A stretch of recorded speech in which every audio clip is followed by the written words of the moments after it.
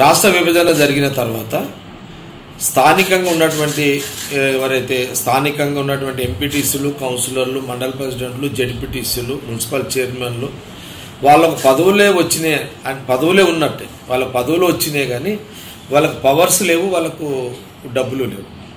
ఈరోజు ఉమ్మడి మెదక్ జిల్లాలో ఒక ఫైనాన్స్ మినిస్టర్ ఉండి కూడా హరీష్ రావు ఒక ఫైనాన్స్ మినిస్టర్ ఉండి కూడా ఈ ఉమ్మడి పది ఉమ్మడి జిల్లాలో ఉన్న పది నియోజకవర్గాలలో ఎవరైతే ఈ ప్రజాప్రతినిధులు ఉన్నారో వాళ్ళకి ఇప్పటి వరకు దాదాపు రెండు సంవత్సరాలు గడుస్తుంది. ఈ రెండు సంవత్సరాలలో నిధులు లేవు విధులు లేవు.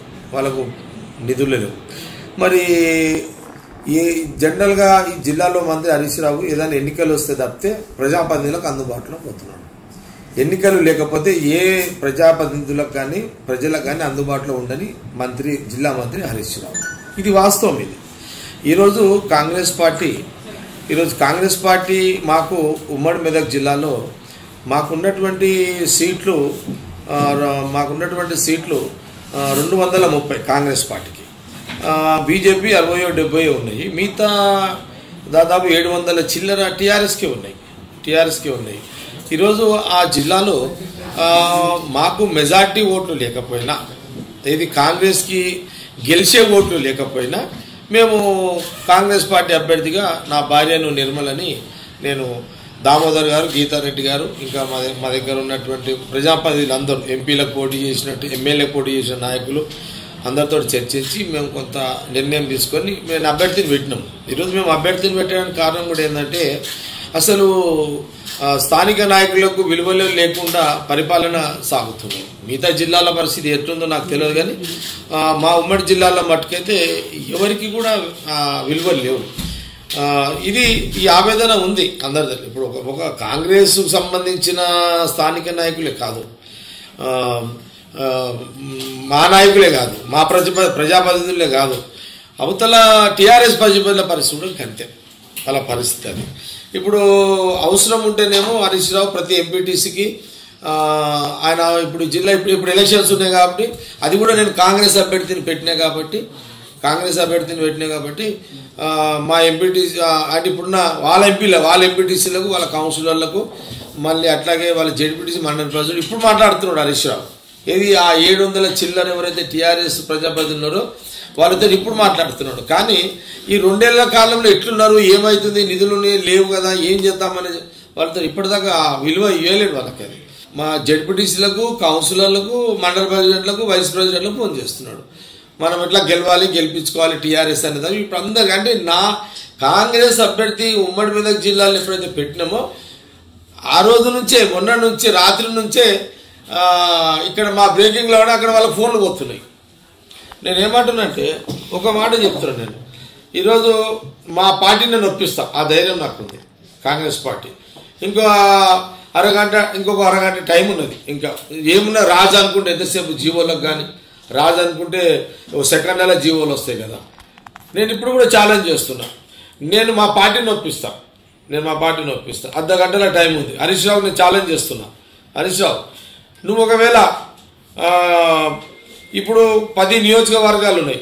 పది నియోజకవర్గాలకు సంబంధించి ప్రతి ఒక్కొక్క నియోజకవర్గానికి రెండు వేల కోట్ల రూపాయలు. ఒక్కొక్క నియోజకవర్గానికి రెండు వేల కోట్లు.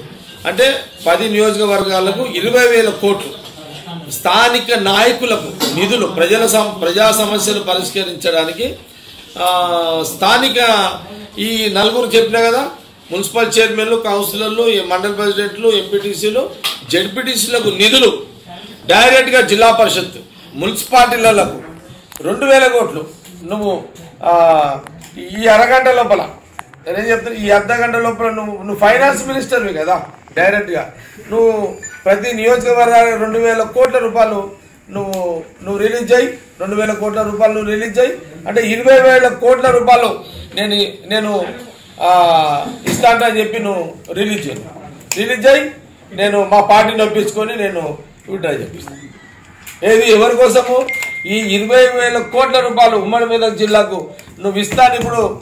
నువ్వు ప్రకటన చేయి. నేను నేను త్యాగం చేస్తా. మా పార్టీ త్యాగం చేపిస్తా మా పార్టీకి చెప్తాను నేను. ఇది ఇది నేను ఈ ఈ- ఈ- వీడియోని దయచేసి నేను మీడియా మీడియా ద్వారా ప్రజాప్రతినిధులందరూ కూడా నేను ఏం తెలియజేస్తున్నా అంటే నేను అందరూ కూడా ఏం తెలియజేస్తున్నా అంటే దయచేసి ఆ లోకల్ బాడీ నాయకులందరూ కూడా నేను ఒక ఇప్పుడు వీడియో రిలీజ్ చేస్తున్నా. మీకు నిజంగా స్థానిక నాయకులకు ప్రజా సమస్యలు పరిష్కరించడానికి స్థానిక ఈ ఈ నాలుగు సెక్షన్ల నాయకులకు మీరు నిధులు ఇవ్వండి. ఒక ఎనభై వేల కోట్లు నియోజకవర్గానికి రెండు వేల కోట్ల చొప్పున ఇరవై కోట్లు ఇవ్వండి. వాళ్ళు ప్రజా సమస్యలు పరిష్కరించడానికి ఒక మంచి అవకాశం ఉంటుంది. మీకు నేను నా పార్టీ పంపించి విడ్రా అవుతా. నువ్వు ఇరవై వేల కోట్లు రిలీజ్ చేయి. మా మా మేము గెలవక అంటే మా మేము ఆ, కమ్సే కమ్ లోకల్ బాడీలో ఉన్న పార్టీలకు ఖచ్చితంగా ఈరోజు జగ్గారెడ్డి కాంగ్రెస్ పార్టీ చాలా మందికి చెప్తున్నా. ఉమ్మడి మెదక్ జిల్లాలో ఉన్న ఒక్క వెయ్యి ఇరవై ఏడు మంది ప్రజాప్రతినిధులు ఉన్నారు. వాళ్ళందరికీ నేను చెప్తున్నా. TRS including TRS BJP Congress ఎట్లా మాదే? ఈ ఒక్క వెయ్యి ఇరవై ఏడు మందికి నేను ఛాలెంజ్ తోటి చెప్తున్నా. ఎమ్మెల్సీ అభ్యర్థిని నిర్మలా జగ్గారెడ్డిని గెలిపివ్వండి. మా ప్రభుత్వం వస్తుంది వచ్చే వచ్చే ఎన్నికల్లో మా ప్రభుత్వం వస్తుంది. నేను మీకు ఛాలెంజ్ చేస్తున్నా నిర్మలా జగ్గారెడ్డిని గెలిపివ్వండి. మా ప్రభుత్వం వచ్చిన రోజు ఇరవై వేల కోట్లు. మా కాంగ్రెస్ ప్రభుత్వంలో జిల్లాకు రెండు వేల కోట్ల రూపాయలు నేను నేను సాక్ష్యం తీసుకొస్తాను.